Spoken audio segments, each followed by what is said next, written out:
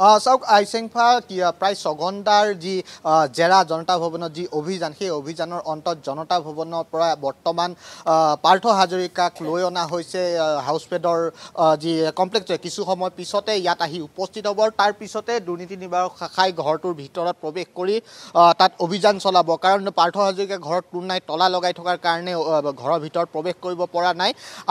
যি স্থানীয় আৰক্ষী আৰু দুৰ্নীতি নিবাৰক শাখাৰ লোক ইয়াত দুপৰীয়াৰ পৰা উপস্থিত আছে যেতিয়াৰ পৰা এই যি হাতেলোতে ধৰাৰ পিছতে যাতে কোনো লোকে সেই ঘৰটোৰ ভিতৰত প্ৰৱেশ কৰিব নোৱাৰে আৰু যাতে কোনো প্ৰমাণ নষ্ট কৰিব নোৱাৰে। বৰ্তমান অপেক্ষাৰত দুৰ্নীতি নিবাৰক শাখাৰ যি বিষয়াসকল আছে আৰক্ষীৰ লোকসকল আছে তেওঁলোকে ইয়াত অপেক্ষাৰত।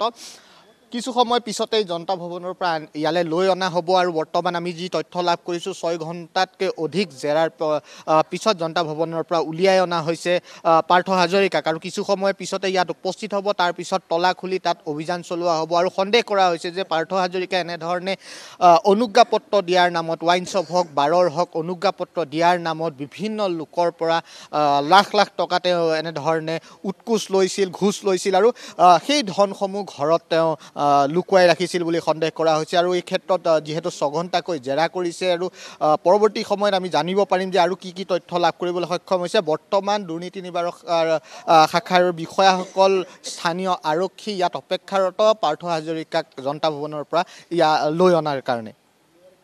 ঠিক কৌশিক অৱশ্যে এটা কথা ক'ব লাগিব যে জনতা ভৱনৰ পৰা এনেধৰণে দুৰ্নীতিৰ জাল পেলোৱা এয়াই প্ৰথমটো ঘটনা নহয় ইয়াৰ পূৰ্বেও প্ৰতিদিন টাইমে উন্মোচন কৰিছিল অনুৰূপ এক ঘটনা।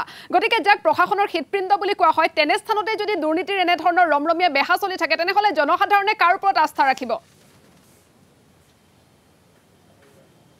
নিশ্চিতভাৱে চাওক জনতা ভৱনত সম ৰাজ্যৰ সকলো ধৰণৰ নীতি নিয়মৰ পৰা আদি কৰি সকলো ধৰণৰ কাম কাজ সংগঠিত হয় উন্নয়নমূলক কাম কাজ জনতা ভৱনৰ পৰাই নিয়ন্ত্ৰিত হয়। আইন শৃংখলাৰ যি কাম কাজ আছে তাকো জনতা ভৱনৰ পৰা মুখ্যমন্ত্ৰীৰ কাৰ্যালয়কে ধৰি বিভিন্ন বিভাগসমূহ তাতেই আছে মূল বিভাগসমূহ আৰু তাৰ পৰাই সকলো ধৰণৰ নীতি নিৰ্দেশনা দিয়ে আৰু সেই জনতা ভৱনতে এনেধৰণৰ এটা ঘটনা সংঘটিত হৈছে। আৰু এইটো আপুনি উল্লেখ কৰিছে যে এইটো প্ৰথম ঘটনা নহয় ইয়াৰ পূৰ্বেও এনেধৰণে উৎকোচ লৈ বিষয়া গ্ৰেপ্তাৰ হৈছে জনতা ভৱনৰ নিজৰ কোঠাত। আৰু আপোনাক এই মুহূৰ্তত ধন্যবাদ জ্ঞাপন কৰিছোঁ। আপুনি শেহতীয়া তথ্যখিনি জনোৱাৰ বাবে।